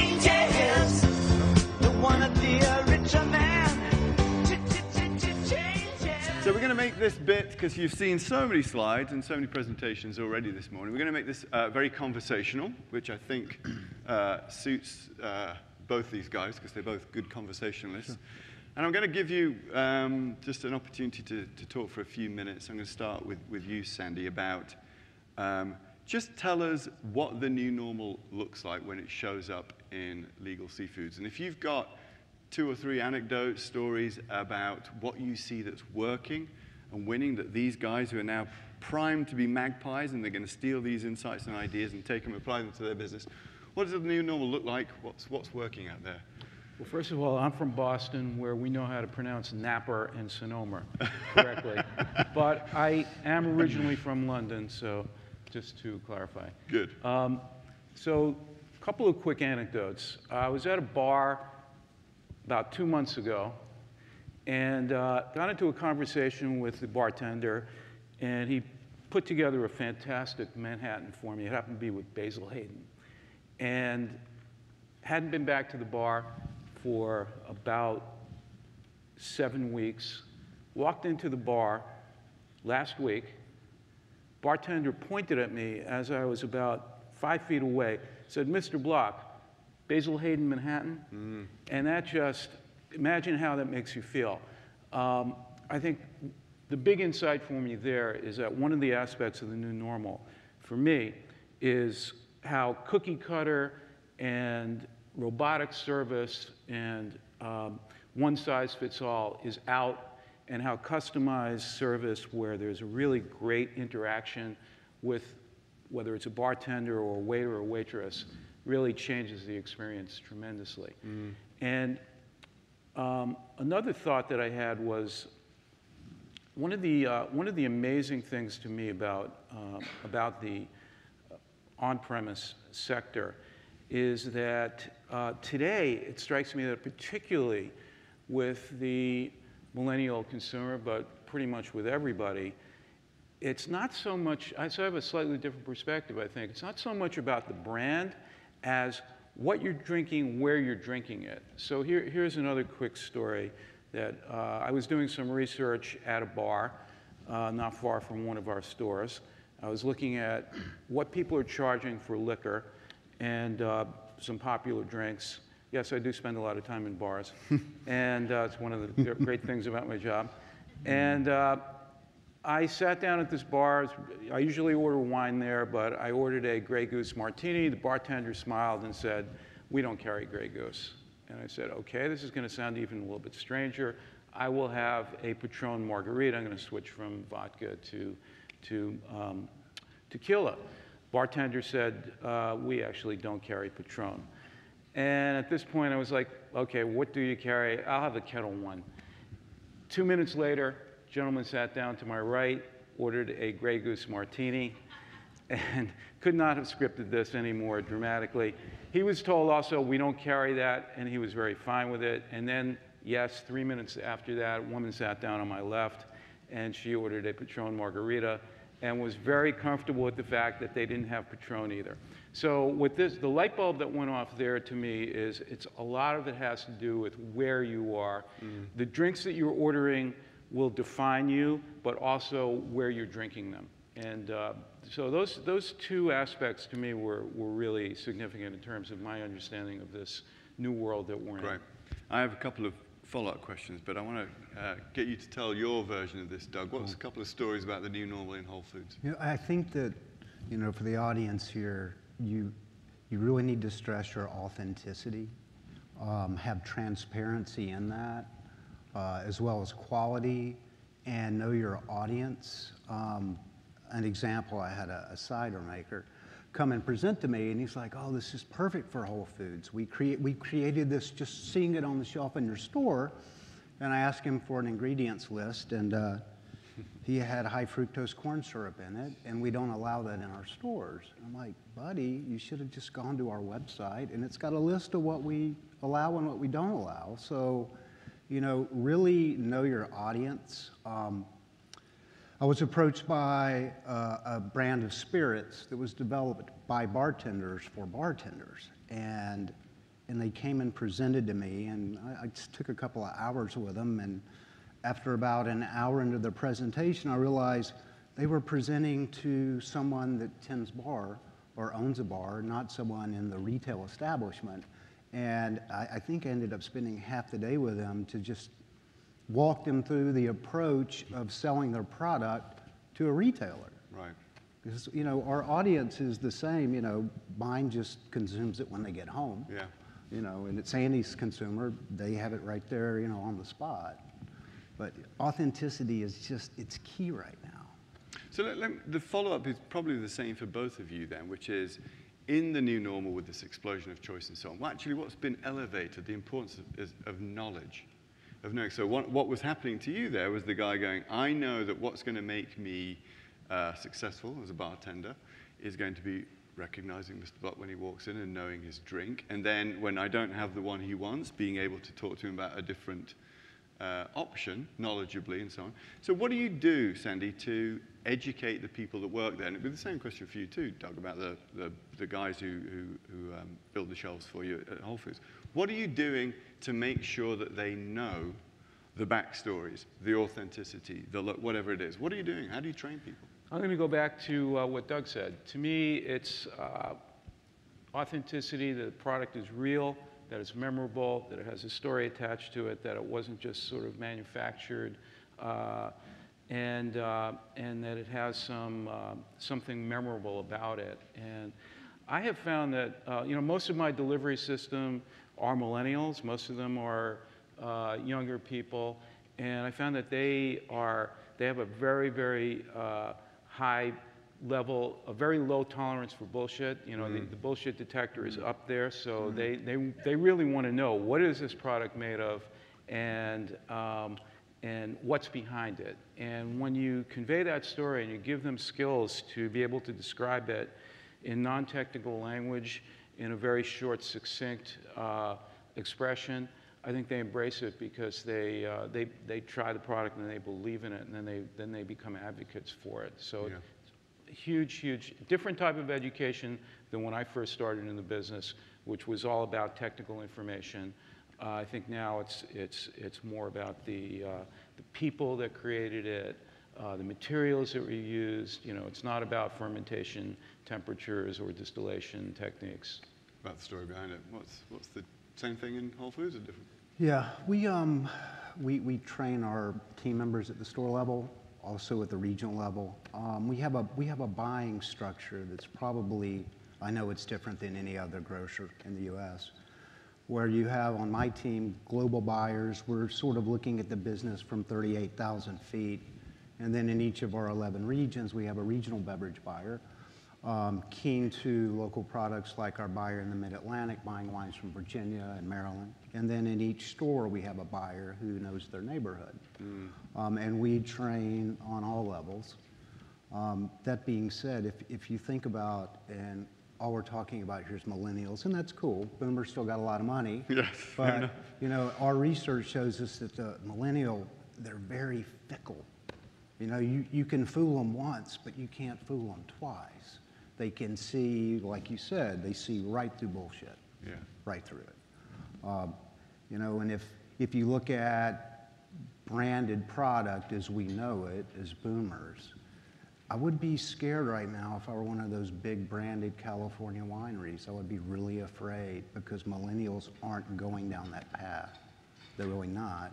And if you look at, you look at other industries like the automo- automobile industry, you know, Mercedes-Benz, for them to bring in a car they can sell for $29,000, they're betting the farm that that millennial is going to buy the same car his parents drive. Right.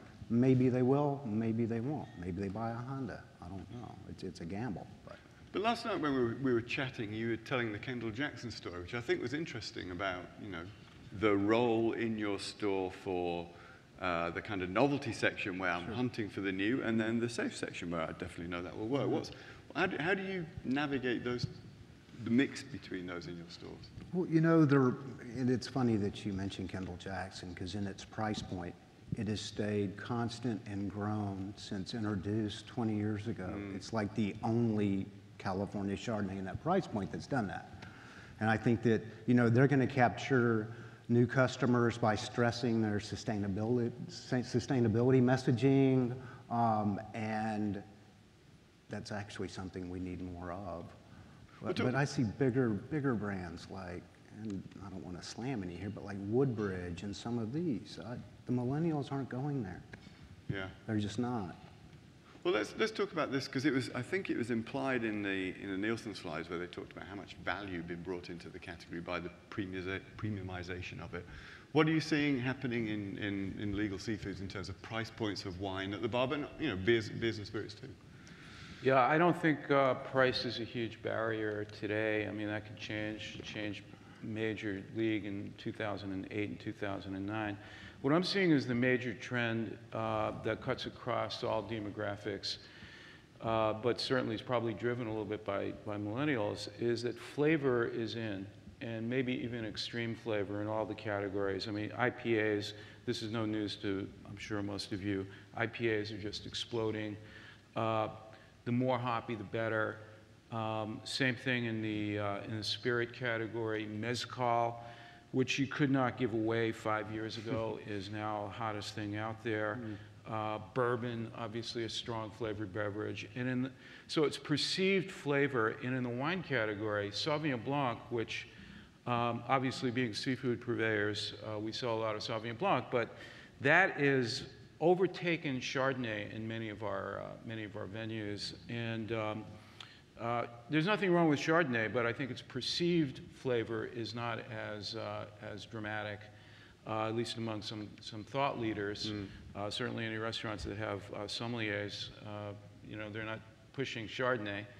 Um, but I think it's strong. It, uh, perceived flavor is in and perceived blandness is out category. I mean, anybody remember we used to sell some Merlot in the United States? Mm. Uh, that's, you know, that's starting to come back a little bit, but it definitely dropped. Shiraz, things like that. So that, that, that's my take on what uh, consumers are telling me. Do you, uh, question for, for both of you, and you can, you can start. Do you, this, this notion of trends and spotting them and getting on, where are these trends coming from? And are you guys feeding it and making it happen? Or are you responding to stuff that you just have your antenna up for you're spotting as it goes? How, how does that work? What's the mechanism? You know, I think that we all like to think of ourselves as trendsetters, and it's really hard to, it's hard to define. You know, if you look at, in terms of price points in, in sales right now, and this was mentioned last night in the opening reception, premiumization is in. If you look at big retailers like us and Trader Joe's and Kroger and Safeway, whatever, are opening price point wines, those $2.99, $3.99, they're dead in the water, Mm. completely dead in the water.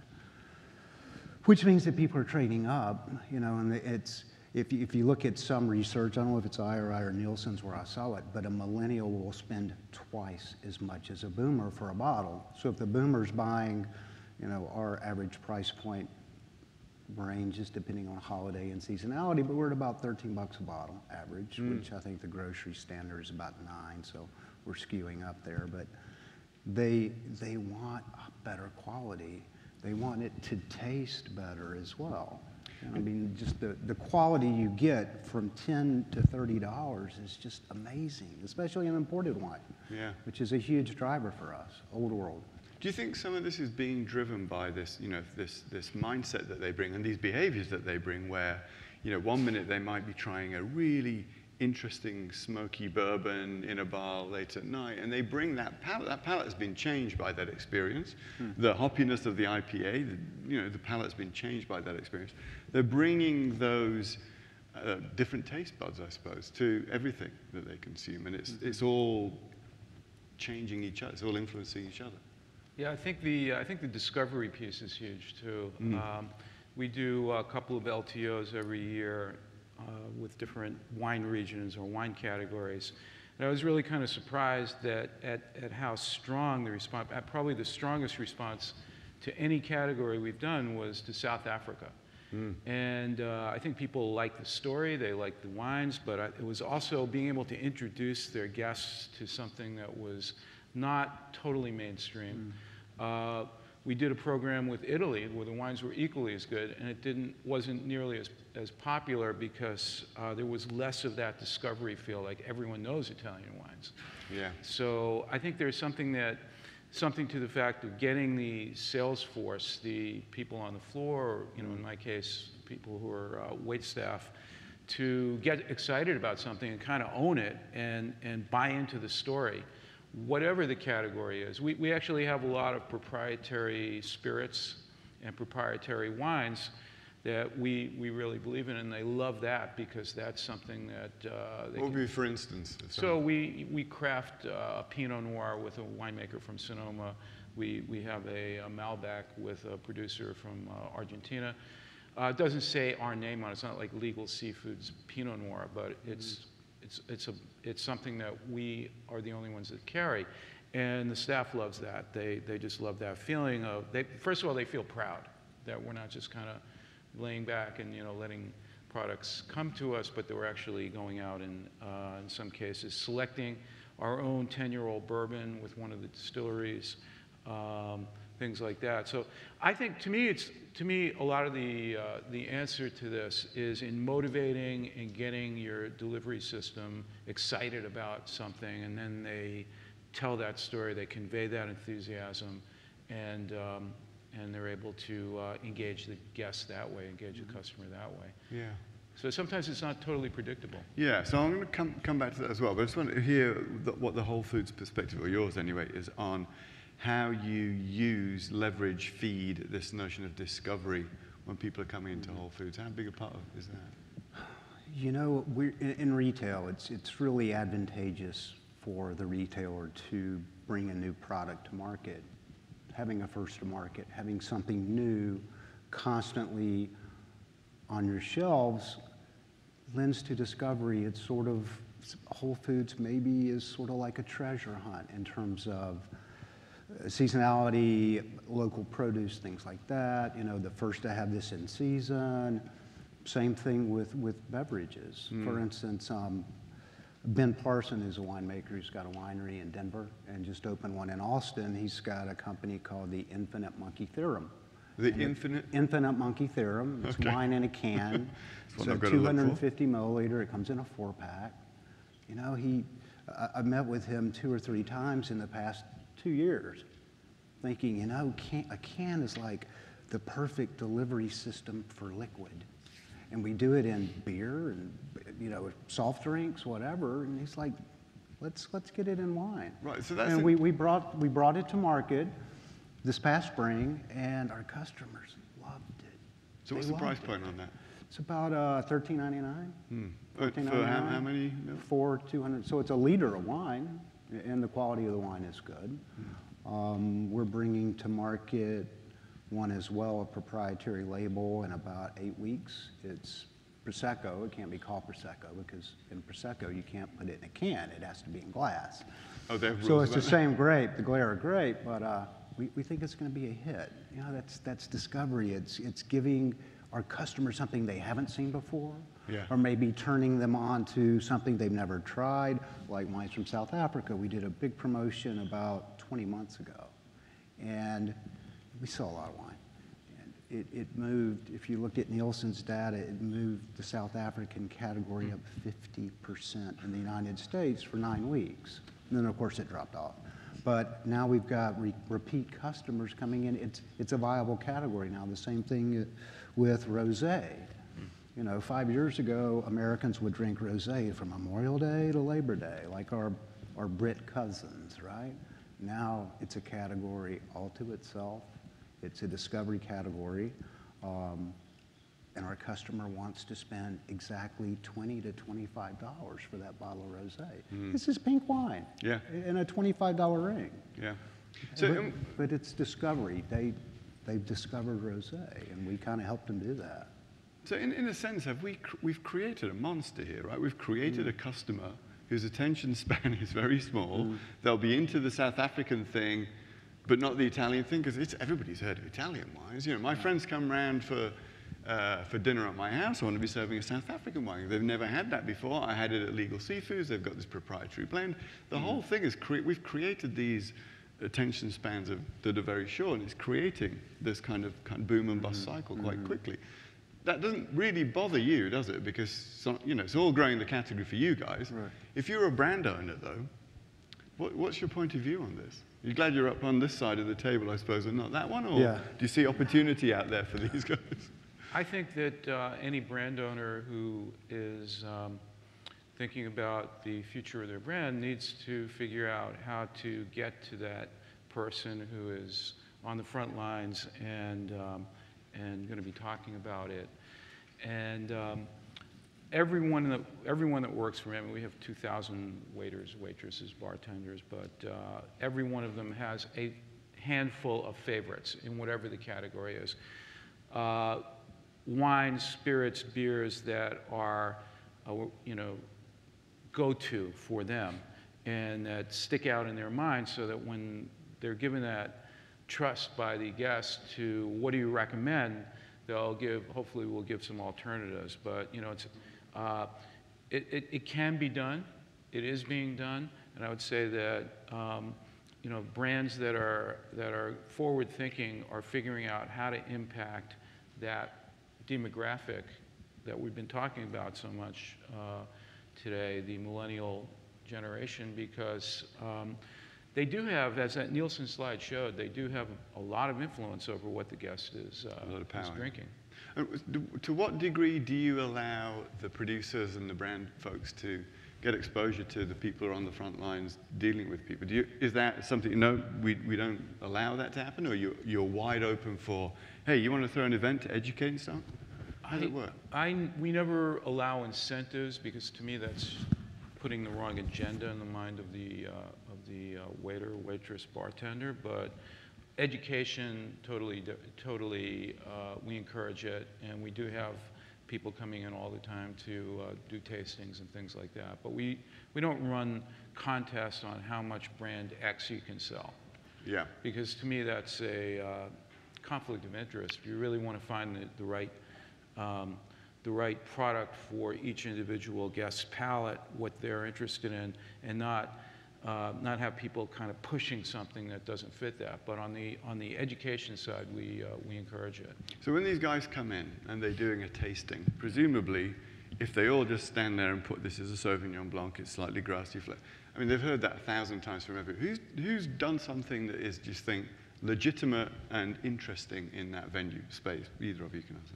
Um, well, we've been talking a lot about local. Yeah. And uh, most of our restaurants are in New England, and we've had uh, we've had some visits up to Allagash, which Mm. is in Maine, that really sticks out in the in the uh, sort of alpha bartender's mind.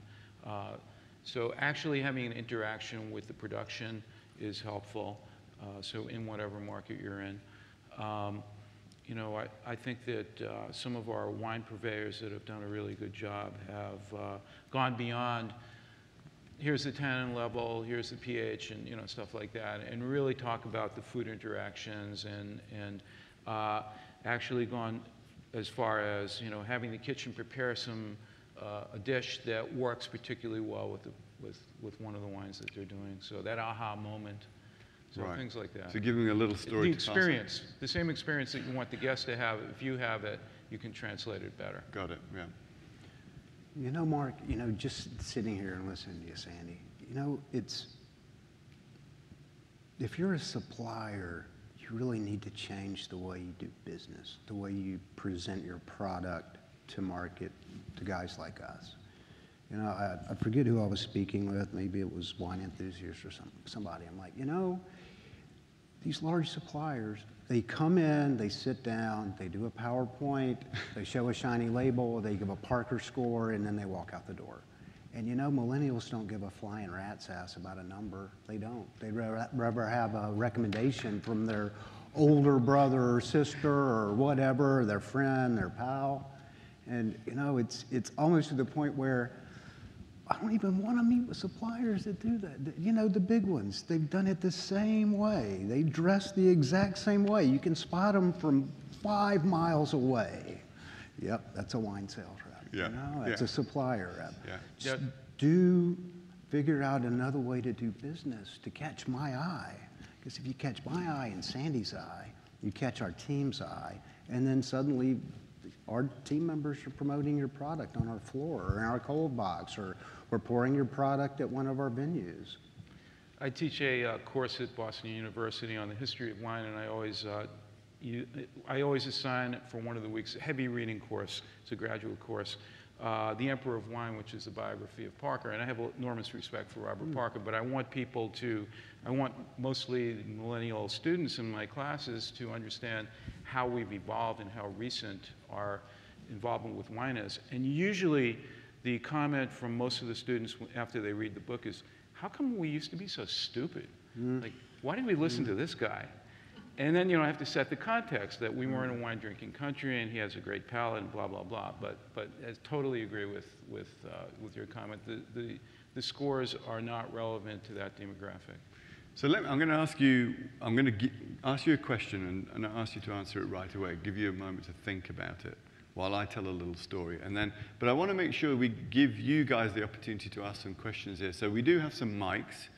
Uh, yeah, people are wandering around with mics. If you have a question, there's a great opportunity. You've got two very powerful buyers here. Uh, ask them tough questions.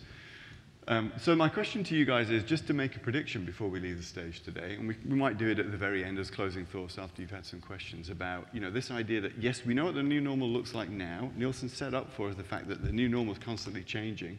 Just to make a prediction or two about where you think it might go, so that entrepreneurs out there can jump on it and be the first to it. So uh, in the background, background memory, be processing that one. But to your point, you know, one of the things I wanted to highlight, which I'm glad you, you both have made this point, um, reminds me of, uh, I recently saw Maria Stipp, who's the CEO of Lagunitas, on a stage similar to this one, talking about uh, the audience. And she was talking about how they deal very differently with, with the trade. And I think one of the takeaways from this, as much as I spoke about how to design brands to appeal to the consumer, clearly the gatekeeper is these guys and their staff, and figuring out the way to tell the story to them in a way that really captures their imagination, excites them, is probably the first step. So you're thinking beyond to the consumer, but you're thinking first about the gatekeepers here. But Maria Stipp told this story about, um, you know, how come Lagunitas is so successful and so on. She said that uh, they recently, they've, you, I'm sure know, they've, uh, a big chunk of them been bought by Heineken recently, and it's given them access to all kinds of new retail opportunities. Mm. And the retailer was saying, so now that you're you know, playing with the big boys, we're going to need to put on a promotion. It's going to need to know what your um, in-aisle display is going to look like. And, yeah, and she said, yeah, but we don't do any of that. You don't do any of that, but all the other vendors do exactly that. Yeah, we, we don't do any of that. Now, we have a uh, charity fund, and we will, we will fund any charity, make a donation to any charity you're interested in, and that's the way that we spend this money. We don't spend it in that way the way everybody else spends it. We spend it in this way. And we know it costs us some sense of exposure and so on, but that's the kind of business we are. Now you can imagine how electrified some of the staff were by that story, and it got them on their side and so on. So just rethinking not just the consumer experience of the brand, but the customer's experience of the brand and how you engage with them is a big opportunity. So any questions from the audience? Yes, down here. Um, some of the, at the beginning, some of the brands and some of the new normal looked like really stupid products. and they, they didn't look appealing. And how do you tell the difference between something that is simply trying so hard to be novel that it's dumb and something that's inventive and going to have legs? Great question. How do you know? Because all ideas like that look weird to begin with, I mean, one of the things that the Nielsen data showed is that rolling out of endless new brands, and that to me is uh, a consistent strategy, uh, particularly among liquor companies, mm. where they'll just come up with anything, throw it against the wall. Growth is going to come from new placements, and that's the job that distributors do. They get these new, new flavors of vodka, new flavors of rum, new flavors of tequila out there, and then they say, well, you know, if it sells, it sells. And if it doesn't, they move on to the next, the, they come up with the next product in the lab for the next year. So, I mean, the only way to answer that question for me, maybe Doug has a more intelligent answer, is um, just based on experience. You know, stay away from fads and, and mm-hmm. uh, use your experience and judgment uh, to determine does something have legitimacy? I mean, that's part of what we're paid for is to make those judgments. And, we're not 100%. I'm not 100% right. Before we let you go, you're going to take the next guy that walks in with a grapefruit flavored something or other? Uh, no, I, I, we tend to be a little bit cautious. We, you know, we're not the uh, venue that breaks new ground in that regard. So um, we're probably a little bit more conservative because we have, you know, 34 different restaurants. They're, they're, they're all different. But uh, none of them are that cutting edge that people are coming in looking for whipped cream, uh, smoked salmon vodka. So you're, you're the guy that's going to wait and see if it catches fire bit. or if it just turns out to be a dumb idea. A little bit. I, I think generally, I mean, I'm not a good person to answer this because people don't bring totally weird things to us. I know they bring them to you though, Doug. Yeah. yeah. You know, a lot, yeah. A lot of it is instinct. You just, you just, you have to know your customer. And you know, there's like, there's, a, there's an art to what we do and we've been in taking those art classes our whole life, if, if you want to put it like that. I, 10 years ago, I was brought a concept by the wine group, second largest wine company in the world, and they showed it to me, and I said, oh, that's not going to sell. That's the stupidest thing I've ever heard of. It's a brand called Cupcake, and it's 5 million cases a year. So I missed that opportunity to take that to market. That's okay. We carry the wines. It sells well. It's a price point, quality's good. They brought me one two years ago to look at, and the packaging is it's perfect. It's a brand called Chloe, right? C H L O E. The label's white. It's got a little black band around it. It looks like a box of Chanel number five, right? Like you got a winner there. And, and taking a playbook from the, the advertising firm that brought Absolut to market in the 80s. You know, somebody told them, hey, go drop free cases of that at every gay bar in San Francisco and you'll have a brand. And you know what? They did. So our recommendation to the wine group was take that Chloe and drop a case of that Pinot Grigio off at every hair and nail salon in Beverly Hills and Palm Beach and Palm Springs and Manhattan and you got a brand and bam It's a million cases a year now. You just know, you know, you know if it's going to sell or not. Well, do you remember on the cupcake thing? I'd love another question in a minute, but on the cupcake thing, do you know what was it that made you go, that's not going to work? Oh, the, the packaging I thought was poor. Very, very busy label. You know, it's, uh, again, it was prototype. You know, they said, well, do you like this label or this label or this label? I'm like, I don't really like any of them. I think the name's stupid. and it's actually named after a gentleman that works in their office at the winery. His nickname is Cupcake. That's fantastic. That would have been Yeah, a his better first story. name is Craig, it? if any of y'all know Craig. That would have been a better story. Any other questions? Yes. Just, just one. I was struck by your uh, description of wine salesman, Doug. Mm. Um, after having attended WSWA for 30 years, I think I can spot those same people. But how do you gentlemen react to metric-driven sales presentations? I was reflecting on the Nielsen conversation earlier. When you have folks coming in and say, okay, it's going to do this many turns, it's going to produce this kind of SKU profitability, how do you guys react to those? Okay, I want to answer that right quick because this is fresh in my mind. I was at our corporate offices two weeks ago in Austin, and I met with the uh, Fetzer Bonterra people.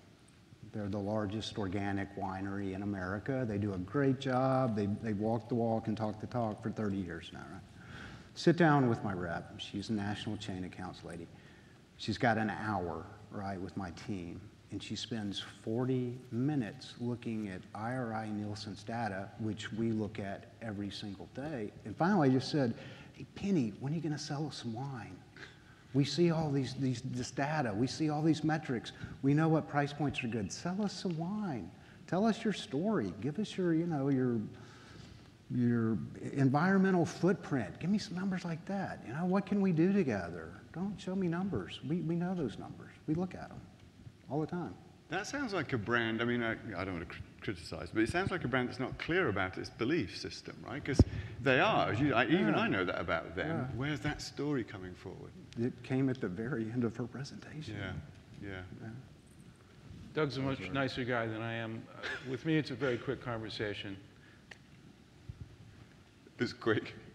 Yeah. I think, okay. More questions? Good. It's not every day you get to speak to these two guys, so I'm going to take advantage of it. Um, we're a seven year old winery in Nashville, Tennessee.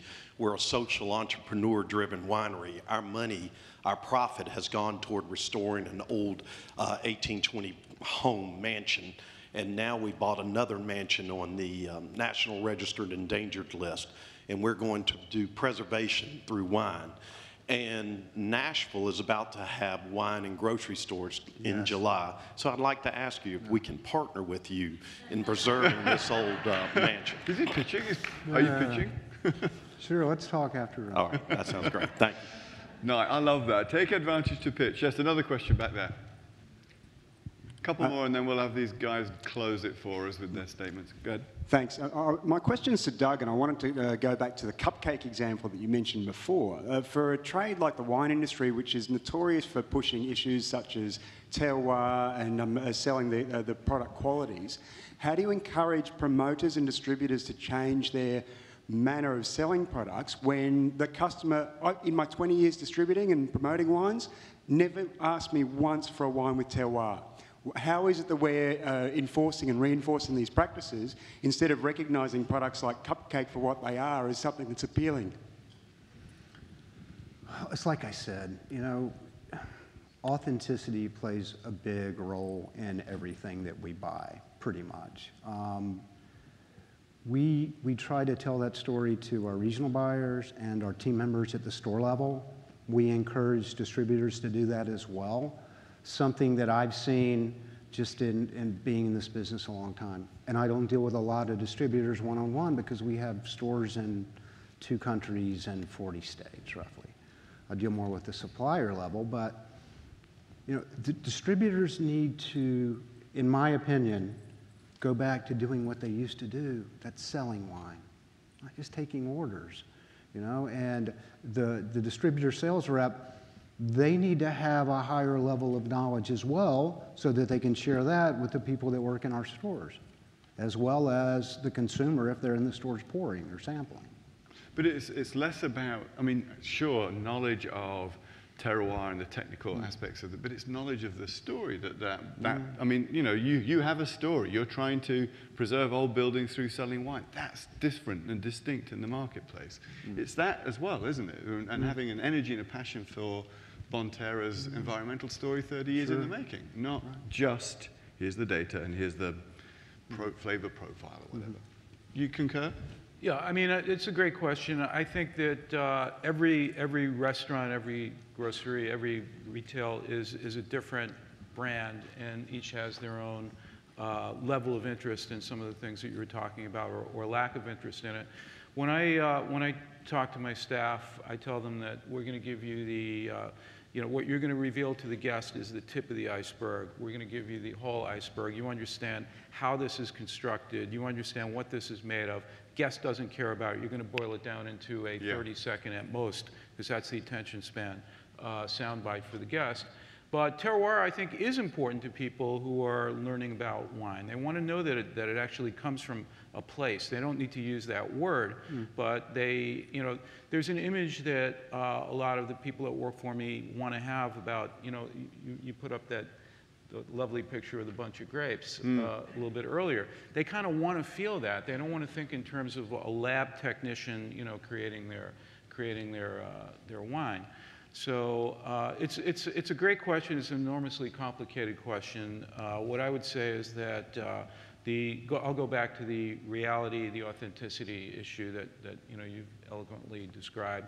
Uh, I think that there's a need to believe that something is real and it's not just being uh, marketed to them in a slick way.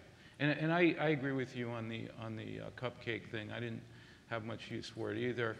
And uh, so there, there you go.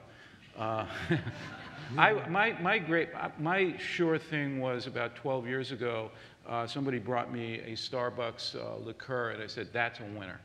And that disappeared real quickly. Yeah. yeah, Tough to know, isn't it? I mean, even even those of you who have lots of experience in this business, it's sometimes Hey, tough to spot the winners. Get into the Hall of Fame by hitting 320. So with that said, as the asterisk against what you're about to say, right, which is I've asked you both to make a prediction, and we'll just treat it for what it's worth, right? So um, where is this thing going to go? Leave us with a soundbite. About five years from now, we're in this room, we're having this conversation. We're all talking about what? Well, I think that we're still going to be talking about craft beer and those the, the figures that they showed earlier this morning with craft being flat. That's pretty much true. If you're a craft brand that's in 25 states, that's how we looked at our IRI data. Pick the craft breweries that are in 25 states. Let's look at numbers. Flat, well, whatever. Let's pick those that are in 10 states. We're up. Five states, we're up. Three states, we're up. One state, like for instance, Terrapin in Georgia, crazy up. So, you know, those, those numbers they showed can tell you anything they want you, that you want them to tell you. So I think craft is actually up. Um, I think that we're going to see the craft market, it's saturated. I, I can't, I live in a town of 1,200 people and we have three breweries. That's crazy. I mean, and they're all within four blocks of each other. What's, what's that all about? How long are they going to last? I don't know. Um, we're going to still be having that conversation. And I think that in five years, we're going to be having a larger conversation on biodynamic and organically produced products. That's across all categories. That's cider, spirits, wine, craft beer. Um, again, the, flavored vodkas and stuff like that. How long is it going to last? If you're, if you've got a brand and you're going to bring it to market, you know, think about where you want to be in five years. Not, not just that one slot. Like I was saying about our, buying structure. You know, so many suppliers and producers think, oh, I've got to get something in a national promotion with you, Doug. I've got to. I'm like, no, this is how you grow your business with us. Go make some wins in the regions. We'll build a brand for you, and that's that's kind of how we do. Great. Don't don't wait for like the hail mary pass. You know, get out and do some grassroots. Make see where you want your brand to be in five years, not where you want it to be in a year. Great. Sandy? Five years, okay, everyone write this down. Um, there's going to be a huge oversupply of bourbon. Tequila will collapse. Everyone will be asking, what's that Malbec? What's this Malbec thing? Yeah. Um,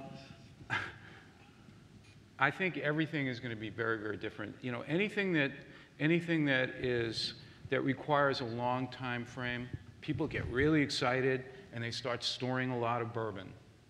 And, you know, now there's a shortage, but by the time that bourbon matures, people will be moving on to the next thing. I'm partly facetious about the tequila, but you guys all know, I'm sure, that it takes 8 to 12 years for the agave plant to be harvested, then you have to plant it again. And so there's always going to be a disconnect between supply and demand because whatever we're excited about now we think is going to last forever, and it doesn't, and then we're oversupplied. So uh, that's as good as I can. Yeah, so pay attention to, to timing, I guess is the headline there. Um, thank you both, Sandy and Doug. Great privilege to be on stage with you. Thanks for your time. Thank you. Thank you. And Sandy will be running a session. If you want more Sandy, then he's available at 11 o'clock. By the glass. Thank you. Buy the glass, buy the yeah. glass. Thank you. Cool, thank you. Very good. Right, thank Thanks. you. Great, great Oh, job. Sure. Yeah.